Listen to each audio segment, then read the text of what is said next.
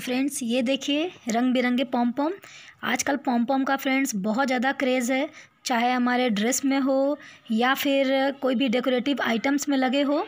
तो आज मैं आपको बहुत ही इजी तरीके से पॉम पॉम बनाना बताऊँगी। और देखिए कितना सॉफ्ट स्पॉन्जी है। इसके लिए हमें, देखिए, मैंने कुछ कलर्स की ऊल ली है। और एक सीज़र की ज़रूरत है, उसको कट करने के लिए। तो सबसे पहले हम फ्रेंड्स मैं चूँकि थोड़ा बड़ा पॉम पॉम बना रही हूँ तो मैंने तीन अपनी उंगलियों का इस्तेमाल किया है और उसमें आप जितना ज़्यादा लपेटेंगे, उतना अच्छा उतना घना पॉम पॉम बनेगा। तो देखिए फ्रेंड्स मैंने अभी आपको जितने भी पॉम पॉम्स दिखाए हैं, उसमें मैंने फिफ्टी टाइम्स उसको लपेटे हैं अपने फिंगर पे। आपको जिस साइज़ का चाहिए, उस साइज़ की आप जैसे दो उंगली का बनाएँगे तो आपके छोटे बनेंगे। मैंने तीन उंगलियाँ का इस्तेमाल किया है तो वो थोड़े बड़े बनेंगे। तो इसी तरह, अभी मैं इसको लपेटूँगी। और फ्रेंड्स, लपेटने के बाद उसको बहुत ही अच्छे से हम लोग उसको बीच में गांठ देंगे। कम से कम दो से तीन बार, काफ़ी टाइट, ताकि ये पॉम पॉम कट करते टाइम या फिर उसको साइड से बराबर करते टाइम वो निकले ना साइड से। तभी मैं देखिए, एक लंबा धागा उसके वूल के ही लूँगी, जिसको मैं बीच में बिल्कुल सेंटर पे, फर्श पे रख के अच्छे से बांधूँगी। और ये देखिए, कम से कम मुझे इसमें दो तीन गांठ लगानी है ताकि ये बिल्कुल टाइट बंधे। ये देखिए।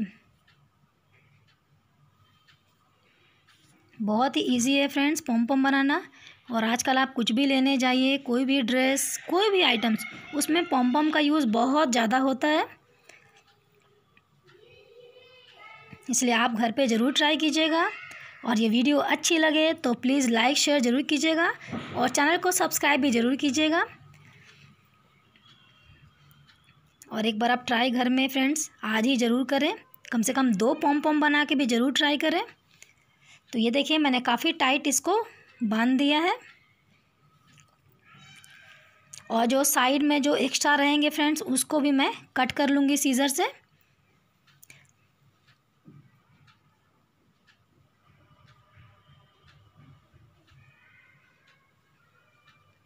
काफ़ी खींच के हमें देख लेना है कि ये पूरी तरह से टाइट हुआ है कि नहीं। और मेरी फ्रेंड्स, आदत है। मैं गांठ एक से दो बार नहीं, कम से कम चार बार ज़रूर लगाती हूँ, जब तक मैं खुद सेटिस्फाइड ना हो जाऊँ। तो अब मैं साइड से उसको कट कर लूँगी। दोनों साइड से कट करूँगी। और जो एक्स्ट्रा जो लटके हुए हैं, उसको भी मैं कट करूँगी।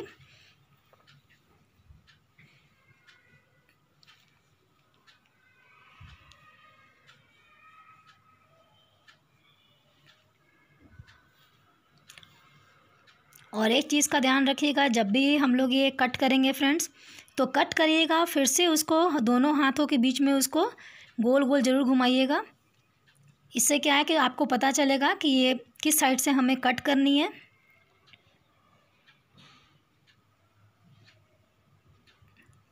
अब ये काफ़ी टाइट हो चुका है, मैंने इसको अच्छे से हाथ से रब कर लिया।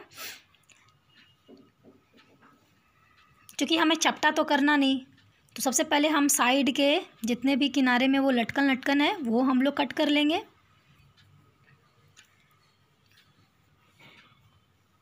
और कट फ्रेंड्स, ऐसा नहीं है कि कट हम लोग एक बार में बहुत ज़्यादा ज़्यादा कट करेंगे। इसको फ्रेंड्स, क्योंकि कई राउंड हम लोग को कट कर करके घुमाना पड़ता है।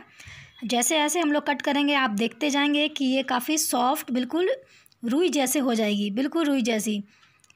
तो ये जो ये जो मेथड है बार बार दोनों हाथ के बीच में उसको गोल गोल घुमाना, वो आप ज़रूर करते रहिएगा। जब भी कट कीजिए, फिर एक बार गोल गोल घुमाइए, ताकि ये गोल रहे, चपटा ना हो जाए। और थोड़ा थोड़ा थोड़ा थोड़ा करके हम लोग इसको कट करेंगे।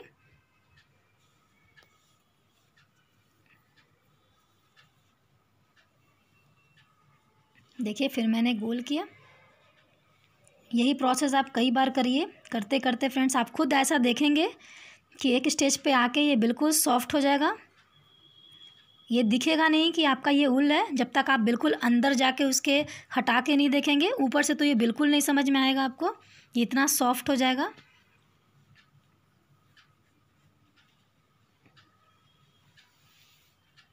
तो मैं फिर बोलूँगी फ्रेंड्स एक बार आप ज़रूर ट्राई कीजिए और आप कितना भी मार्केट से ले फ्रेंड्स, पर घर में आप कुछ बनाते हैं तो उसका कुछ और ही मज़ा होता है। तो इस दिवाली फ्रेंड्स, आप घर में अपने जो खुद से जो कुछ भी डेकोरेशन के आइटम बना रहे हैं तो अपने हाथ से बनाए हुए ये पम पम उसमें यूज़ ज़रूर करें। और जितने जितने डिज़ाइन के, सॉरी, जितने भी कलर के आपके पास वूल रहेगी, उतने ही सुंदर आपके ये पम पम बनेंगे। जैसे मैंने इसमें चार या पाँच तरह के वूल यूज़ किए हैं। और एक चीज़ सबसे इंपॉर्टेंट चीज़ फ्रेंड्स कि ये जो वूल रहेगी, ये मोटी वाली यूज़ बिल्कुल ना करें। ये फोर मेरे पास जो है, वो फोर प्लाई वूल है। तो फोर प्लाई ये सबसे सही रहता है, ये पतली ही रहती है। तो ये पम पम के लिए बिल्कुल परफेक्ट है। तो आप शॉप पे जाएँगे, वहाँ फोर प्लाई वूल मांगेंगे तो वो ज़रूर आपको दे देंगे। तो आप उससे ये ट्राई कीजिएगा।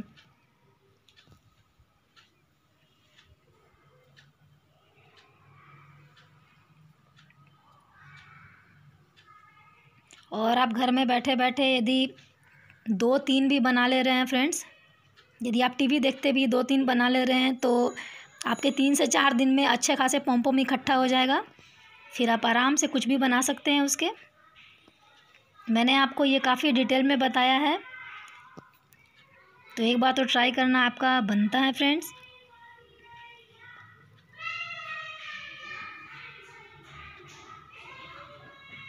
अब ये देखिए कितना ये बिल्कुल रुई जैसा सॉफ्ट दिख रहा होगा आपको।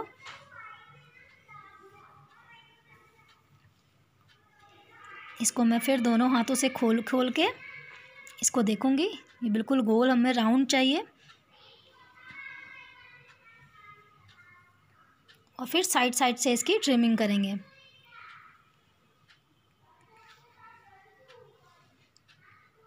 और ये जब पूरी तरह से बन जाता है तो इसकी जो कटिंग निकलती है, ये बिल्कुल वुल दिखती ही नहीं है, बिल्कुल वो रुई जैसी दिखती है सॉफ्ट जैसे वो फर आता है ना, बिल्कुल वैसी दिखेगी ये।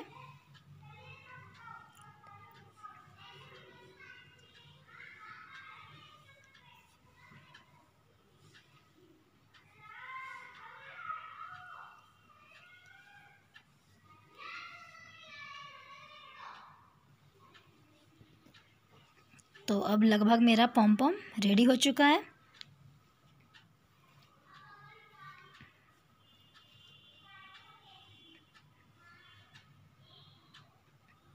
ये देखिए, इसको मैंने फिर से रब किया।